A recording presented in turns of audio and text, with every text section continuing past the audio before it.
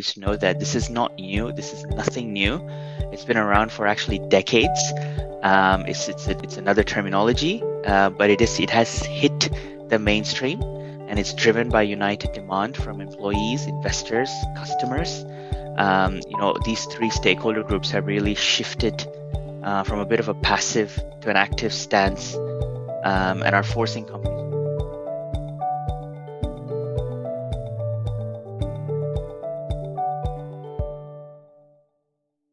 Okay. Mm-hmm. Hello, everyone. Welcome to the Actionable ESG talk series brought to you by AKFI Actionable Knowledge Foundational Institute, the world's first nonprofit industry consortium committed to bridging the gap between ESG, sustainability, and digital transformation. My name is Isabella, the co-host of this talk series, here with Manuel, another co-host, and our today's special guest. Hello, Kaushik. Welcome to the show. Hey, Isabella. Hey, Manuel. Thanks for having me. All the way from Sydney, Australia. We don't have too many so large, large distance. Uh, you know, this could be the record for you, Manuel. You're welcome. we yeah, thank you so much. We uh, we, we need to move to New Zealand to get even farther if we want to. thank, thank you for joining us. My pleasure. And just a little bit uh, background intro to our audience. Uh, since they don't know you, we know you very well now, and I'm very excited to uh, to introduce the multiple hats that uh, Kaushik is wearing. Very impressive. Starting with the formal professional tennis player, as we chat. That's one of my most interesting titles among all, because I'm a, also a big fan of tennis and uh, love to have another talk with Kaushik on this. And two times TEDx speaker, a global award winner, business executives, um, and university lecturer, board member, professional coach, and mentor, just to name a few. and over the past 16 years, Kaushik has developed and implement environmental, social, and governance programs, strategies, and initiatives for some of the world's biggest brands focus on improving their financial bottom line and contribution to society while reducing their overall environmental impact. And um, aside from the titles, there's also uh, very impressive uh, acknowledgments from the industry. Uh, in 2000, uh, I mean 2021, he was named as the ESG Thought Leader of the Year and ESG at the ESG Summit and Awards. And a year later, uh, prior to that, uh, he was named as one of the 40 under 40 influential Asian Australian and ranked number eight in uh, compliance Assent, sorry, Assent com Compliance Top 100 Global Corporate Social Responsibility Leaders. Wow, that's amazing. Uh, very looking forward to, to see what you have to share today, Kaushik. Thanks, Isabella. That's a long but great introduction, so I couldn't have done it better. I try to, yeah, I definitely want to highlight our speakers, you know, all their acknowledgments and achievements. I think it's important for us to to to acknowledge that and uh, thank and you. thank you for for taking the time uh, sharing your expertise with us today. And to start with the question, we always have a uh, relatively broad topic to hear where you are standing at at the current stage uh, in terms of what are your thoughts uh, when it comes to ESG uh, in a context based on your experience. Sure. Um, and also just want to acknowledge Manuel, yourself, and Isabella for, for this platform and this forum to have this conversation.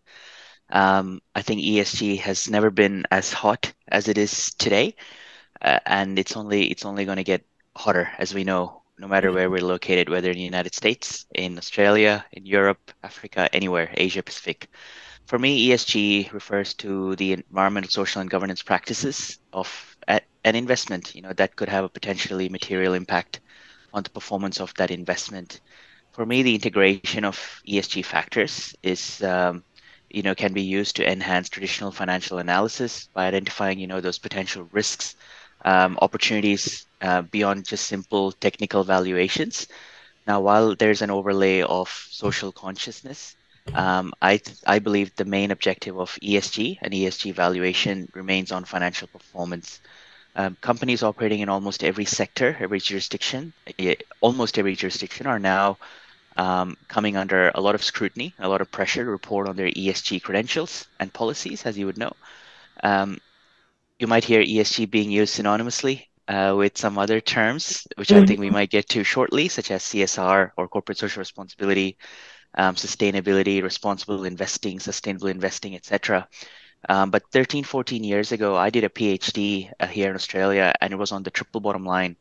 Um, and I think, I believe, ESG is not a new thing. Um, uh, it it could have been derived from this terminology of triple bottom line, you know, the people, planet, profits element of, of, of reporting. And this was a concept that some of your audience might know was introduced in the 1990s.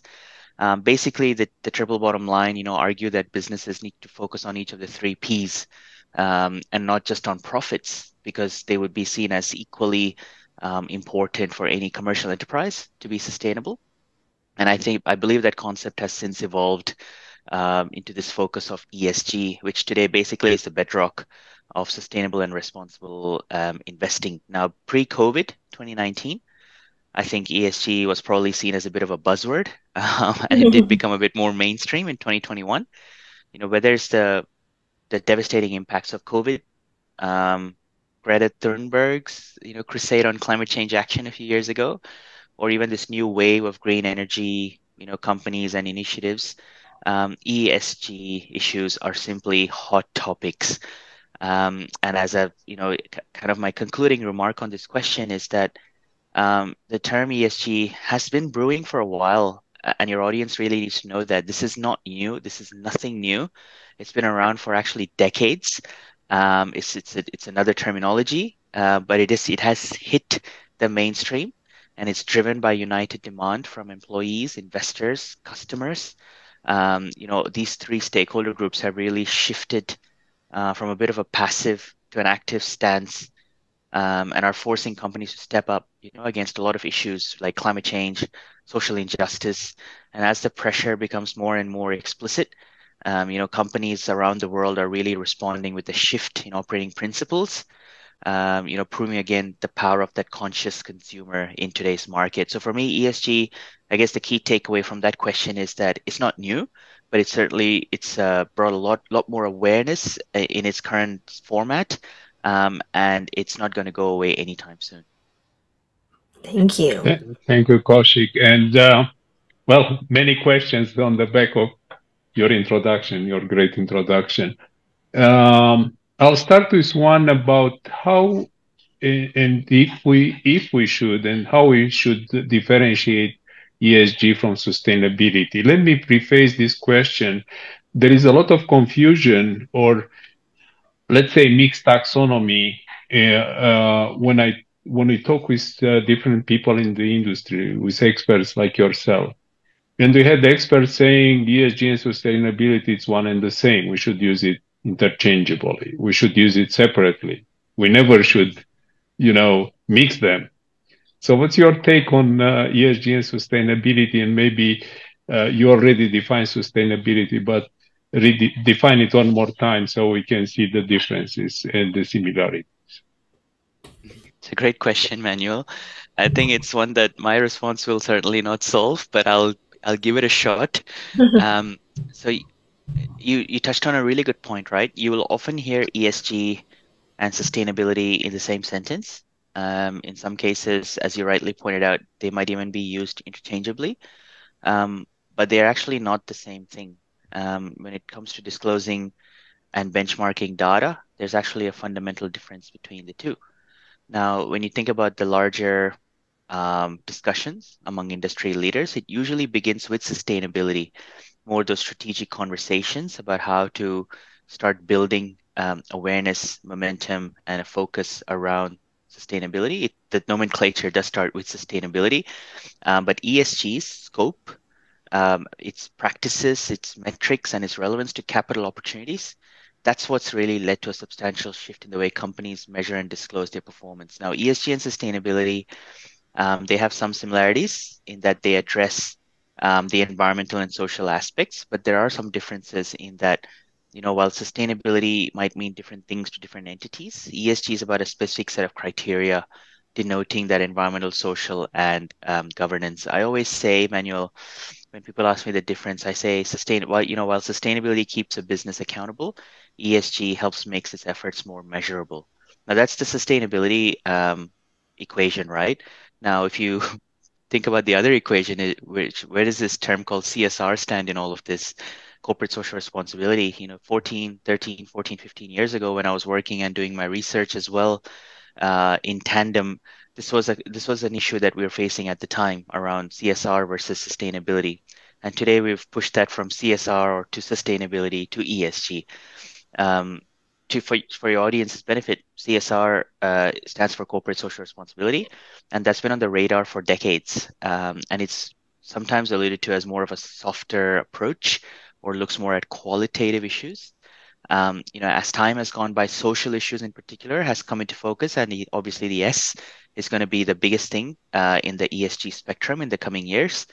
Um, you know, social issues is a bit more it's got a bit more of a technological lens to it today, um, and it's become a bit more possible and desirable to quantify, um, you know, a company's you know social impact, social composition, um, you know, even the quantification of good governance, etc. So ESG data helps elevate these you know these issues to the investor position, um, and technology has certainly made it possible to gather more um, granular reporting data. So ESG, I would say, is a, is a quantifiable measure of a company's sustainability and societal impact mm-hmm. um, using metrics that matter most to the investors. Um, in the past, CSR was about telling a story. Uh, today, ESG does that, but it offers that analytical and actionable um, data. So, in conclusion, the if you think about the transition of the wordings here or the terminologies, the transition from sustainability to CSR or sustainability and CSR to ESG performance basically indicates a maturation of business practices um, to a more precise measurement of a portfolio's performance. So as the industry becomes more sophisticated, you know, we really need to improve the way we collect and track metrics um, to build ESG management accordingly. So that's hopefully that was a bit of a crack at your question there, Manuel. No, it's an excellent uh, answer, and uh, you almost point to the parallel evolution of the digital transformation. The fact that we can collect and manipulate large amounts of data inexpensively rapidly, you know, real time and so on. So, um, uh, sort of in support of what you're saying, uh, the, there is a positive and there is a negative. The positive uh, is definitely we have data and we have massive amounts of data. The negative, we may have too much data, which is unstructured, even if it's you know generally collected on the same KPIs. But we talk about 200 to sometimes 600 KPIs uh, which of course will, will, be hard to to measure exactly accurately. Uh, and, and um, since you know in, in Actionable Knowledge Foundational Institute, we're looking actually also at the digital transformation aspect. And what we find out is that um, uh, regulators, we try to help with some public comments, regulators in the US, in Singapore, IOSCO, the international ones, we find out that um, their uh, consideration of the uh, digitalization it's incomplete. I'll give you the simplest example, and then we can move on. And I think Isabella will have a lot of other questions. But uh, going back to that, um, in order to do data, proper data an- analytics, you need standardized uh, data sets. You need to train your AI uh, on the same way. Otherwise, one person measures in meters, another in yards, and it happens in you know in other metrics. So unless we standardize and we, we go into that direction, we are still in, the data acquisition phase and early data understanding. Uh, to complete, Wall Street Journal just published uh, uh, a uh, report on ESG. I don't know if you have seen it, but they found a, an under 40% correlation between different ESG metrics and ESG uh, uh, ratings. but I'll switch to Isabella. It's just in support of what you're saying. It's definitely we are on the right track to be measurable, and we still have work to do to be measurable. Absolutely, Emmanuel. That that's a great summary. Um, and the landscape is very confusing. It is the most consistent, um, and you know there there's an opportunity. I think there's a risk, but there's also an opportunity here, and the risk is companies um, potentially being turned off by ESG, uh, and the opportunity is for further alignment to try and get not just the corporate community, but the broader stakeholder community towards a common purpose. Um, so yeah, I, I echo your comments. Thank you for sharing. Thank you. Thank you. Yeah, that's very interesting. You brought up risks and opportunities. It's almost like coexisting and we all all of these times we're trying to you know um, not convince but we try to tell the story how to coexist this uh, sustainability topic uh, between the risks and the uh, opportunities. Uh, when it comes to that, one of the main thing I can think of is to explain to them why this matters, right? You kind of mentioned a lot actually already in your conversation. If you have to tell the story, um, to the stakeholders, decision makers, why, why we do this? What will be your, you know, story? Yeah, it's a good question, right? And it gets asked, I think, all the time um, whether you're whether you're doing sustainability or CSR or ESG, you know, sometimes we actually have to fight for for some of these topics to be relevant in a, whether it's a corporate context, academic context, any context. It's a bit easier today, um, but you know, Manuel, maybe you can attest to this. 10, 15, 20 years ago, um, it wasn't so easy. Um, mm. And so, if, if you ask me the question about ESG and why does it matter, I think today it's matured to a point where you know you can greatly accelerate market transformation for the better as companies and investors experience you know their growing influence and power their actions and decisions increasingly shape our future and their future as well um, mm-hmm. um, so provided that the political framework and that's an important one um, provided the political framework conditions you know based on openness global rules do not deteriorate further, uh, market-led changes can certainly act as a force of good on a really truly massive scale. So ESG and in particular ESG investing cannot really be categorized anymore as the future of investing. It is actually a reality today. Um, just as issues as you know climate change, cybersecurity, data protection, workplace diversity and inclusion, modern slavery, human rights, um, and just fundamentally better stakeholder alignment are now you know widely accepted as vital for better corporate citizenship and uh, robust social and environmental outcomes. So while we agree that practices such as greenwashing can be deplorable, and they are deplorable, um, the fact is that committed ESG asset managers, you know, acting those who are acting for investors um, who entrust them to manage their capital, will play an essential role in tackling the key ESG challenges that we face today. So ESG should matter to you um, as it is something that investors now and in the future will demand, whether you like it or not. And they will also increasingly expect that you walk the walk as well as talk the talk. And that is critical. That is a really critical takeaway, um, Manuel and Isabella, from this conversation. Um, that is critical because ESG, and I keep saying this, it's not new it's not new, but if you look at the number of ESG uh, professionals around mm-hmm. the world who have come up as mm. as experts, um, I know Manuel, you referred to that word a couple of times on experts.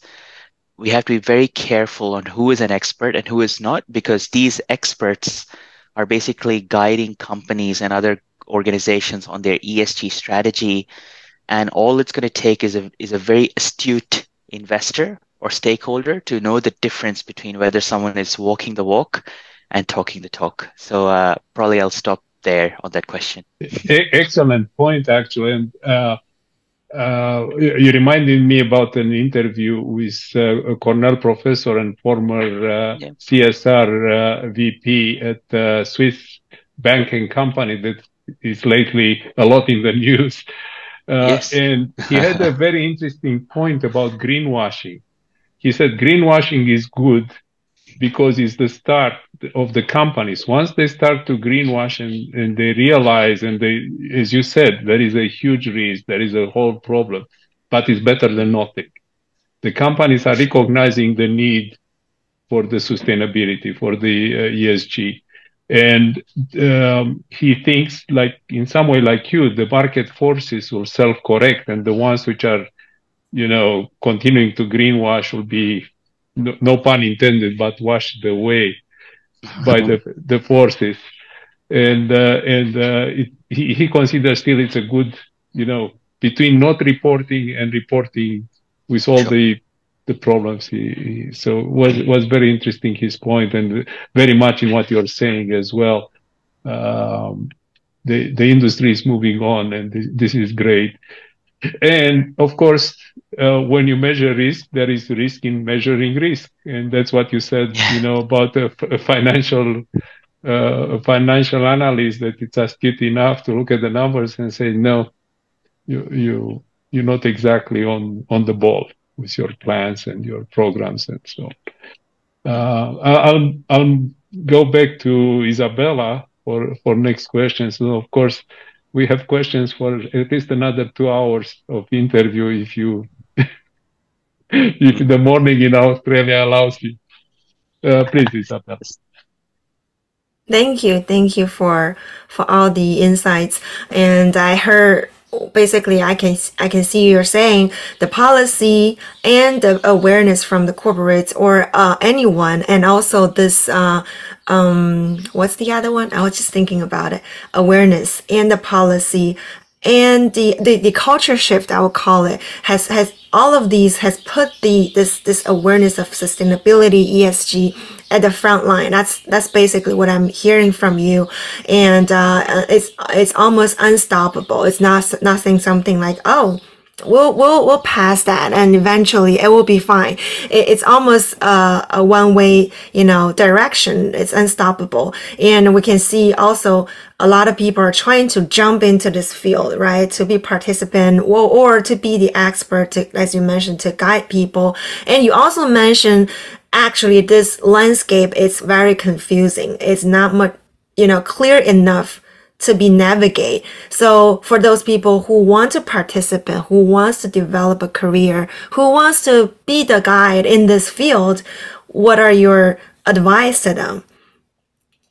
Sure. Thanks, um, Isabella, for that that summary and the question as well. It's quite an exciting question, isn't it? Uh, because there's so many kids and and university students and even Mhm. career early career professionals who want to maybe pivot their career. I've just Mm. used the word pivot, so please poke me in the eye if you want to. Um, but there's lots of excitement in this space, and I think sustainability and ESG related jobs are are expected, right, to continue growing in number rapidly as they are already. Um, some companies will hire their first sustainability employee um, to develop their program. Some will hire more experienced sustainability people to develop their pro or expand their ESG or sustainability programs. So I think um, you know Manuel and, and Isabella, I sent you earlier some some tips, right? And maybe I could talk through a few of them around how, if people wanted to get into this career, what can they actually do? I think one of the most important ones is choosing your path. Uh, sustainability is quite broad, and I'm going to use the term sustainability just for clarification rather than ESG. Um, but yeah, it, depending on your jurisdiction, feel free to absorb it as fit. But it's it's quite broad, um, and professionals, you know, they come from different backgrounds. Whether I've seen law, finance, marketing, communications, through to more very technical backgrounds like energy efficiency, environmental science. But in this midst of such a broad spectrum, we you really need to know and communicate your niche, whether you're an authority in a particular aspect like a human rights or climate risk, uh, you know, a specific industry or a specific process like uh, a materiality assessment. Um, so being able to acquire and articulate that point of difference in a really crowded and small and highly educated employment market, um, I think that's that's crucial. Um, second, a second tip would be to know your market sector. So depending on what part of the sector within sustainability you're interested in working, you know it, that that would require a different set of expertise. Um, you got to stay sharp one of the most exciting things and nervous things, pardon me, about working in this field is this it's it's still relatively new and evolving. Every day there's something new popping up. You know, yesterday I published a paper on inequality related financial disclosure. So for those of you on the call who don't know, um, you have TCFD, you've got TNFD around nature, and there's something called TIFD coming out. And in mm-hmm. the Australian world, that's a little bit new for us. So it was a bit of a surprise for those of us who heard about the next um, acronym. Um, but you really got to stay sharp. Um, and for that, you need to be constantly learning in this space, whether it's conferences, research, newsletter subscriptions, etc. Um, another tip is gaining real world experience. Um, you know, there's no substitute for uh, meeting the people who make those products and and mm-hmm. working with them. So if you meet if you meet someone or work with someone in this space, you know, understand their context and what kind of change they make happen. Because sustainability people, we are a unique breed, right? We have to think about change management, risk management. We've got to be resilient. Uh, we have to be really purpose driven with a with a very strong moral compass, working in billion dollar corporations that sometimes are driven in a capitalistic sense. So, as sustainability professionals, you've got to be a different personality and a different person uh, almost every hour or every day, depending on the meetings that you have. So, it's really fascinating to catch up and work with these people who work in this space to understand how they do what they do.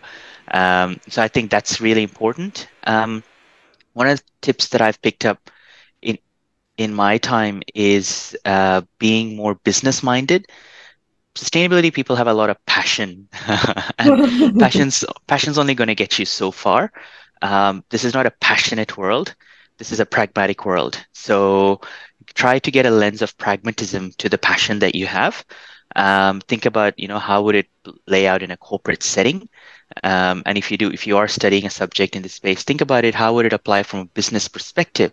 Uh, like if you're looking to do a master's you may consider doing an mba that incorporates sustainability rather than taking a purely sustainability focused masters. That is you know that is my feedback. Uh, many people will disagree or think differently but that's good. You know different opinions do matter. Um, professionals in our field you know they're really required to have a strong understanding of companies business goals and results. You know how the business is performing how your sustainability strategy affects sales um, how your strategy can actually become part of the business strategy. That is the holy grail. You know if we professionals um, are successful at integrating these mm-hmm. considerations into core business activities, sustainability and CSR as a department or a career path may actually disappear in the future because we've become fully integrated um, into the business teams. Um, so that's, I think, a, a really important uh, tip. And then another one is to create change before coverage. So one of the Achilles heel of many sustainability professionals is wanting to see things happen really rapidly. But I think one of the most important things we can have in our toolkit is patience. Mm. If you're really trying to change things and not just have a, a PR story, nothing happens in a few months. It takes actually quite a few years, typically, to make quite long lasting change. Um, but the good thing is, if you do it right and if you take your time, it's hopefully uh, a permanent thing to do. Now, as people want to get into this career, please remember it's not just a job, but who you are. So the most successful professionals in any industry will tell you that in order to excel, you need to be fueled by passion for the job. Um, you know, the company's mission, you know, their purpose, or the opportunity to solve a problem, which are all fine. But you know, this is particularly true and necessarily for necessary for sustainability professionals because if you choose this career path, it probably means that it probably means that you genuinely care about protecting the environment, raising awareness about really topical and hot issues, and wanting to drive meaningful change in your local communities. You know, so even if you're not working directly in this field as of today, um, you know, think about how you can demonstrate your active involvement in the subject, whether working with a local community group, getting involved in a sustainability group at work, being active on social media on related topics, I think is a really good way, one that I am quite passionate about doing. And that's to help you build your knowledge, your network, and also demonstrate your interest, uh, interest in the in the um, in the public arena. Um, and I guess probably one of the the last two is uh, you know find companies that you care about. it's it's really hard to give advice on how to get into sustainability because it ultimately depends on what you want to do. Um, but whether it's you know it's your full time job or not, one way of getting into sustainability is just finding a company that you care about and having somehow a conversation with some of their uh, employees. And then the last one is curiosity. Ask a lot of questions. This is a this is a massive skill. Not everyone has it uh, on face value. So to really, you know, to be inquisitive, to question, you know, to want to understand the truth and the full picture of sustainability and a business strategy is very important. Um, it's you almost have sometimes like an entrepreneurial mindset in this space, uh, and you know, it's around making people feel good uh, about what they do uh, but the most important thing for you know the next generation entering companies to ask questions and make the request for things uh, to change. Because no matter what position you have in the business, whether you're in the sustainability department or not, you have a voice, hopefully. And if you have the desire to change things, um, I truly believe you can. So to conclude on that one, Isabella, I could go on and on on this trying to for people trying to get into sustainability, but the demand for this this career path or this role is coming from so many different directions, so many different groups, um, and that that fundamentally leads me to believe that this profession is only going to continue to grow. Um, in addition to the corporate world, you know, they're seeing we're seeing so much demand for sustainability in, in communities, sustainability jobs in communities, on college campuses. I'm sure you're across this. Uh, positions in higher education and government, also provide these great opportunities for sustainability professionals. So, yeah, I'll stop there um, and happy to answer any questions relating to any of those tips. Actually, uh, great tips. Uh, and I can give you a view from the field. We uh, put an announcement that we look for interns for sustainability for AKFI. And uh, great interns came, and we writing two white papers and research papers with them. I'll go into that in a second. But the more interesting part is now they're bringing their colleagues and saying, do you have a place? We, we, we want to work together. So it's like starting an engine and now it's, it, you know, it, it's growing and we're growing an organ. We are a non-profit. We are member, we are, uh, recruiting members. We are, don't have members yet. So it's amazing this this power they bring as interns. And I, I should also highlight that uh, uh, one of the first and the closest volunteers is Isabella. In, Isabella, yeah, right. in uh, in uh, this, and she helped us tremendously with marketing. But the two white papers we're working is very much in line with what you're saying, and it's an effort to understand the market. One is what are the roles of CSOs? Where do they report? What is their scope of control? Do they have money? Do they have a big title, a nice office, and no reports? You know, do they have a budget? So we're conducting a research in that space. And the other research, we're looking at the supply chain and the misalignment problem. And what we're defining as a misalignment, the big corporations, the multinationals are imposing sustainability requirements downstream to their suppliers. As you mentioned, the E, S, and G, right? And now uh, these are completely out of alignment. Pepsi Cola and Coca Cola, do they want the same bottles? No. And the suppliers are, are uh, actually, and this is another research paper, we are trying to determine the effort and it's imposed on the suppliers. So very great introduction of what, and, and we feel this. We work with people that are really committed, they are passionate about it, and uh, and they want to acquire knowledge. So it's not only the passion, as you said, it's the knowledge, and, and they want to do practical things. They don't want just to you know read the book of theory of sustainability. So really great, great advice, and uh, we'll we'll make sure that we'll share it with our audience as well. Yeah, very awesome entrepreneurial advice.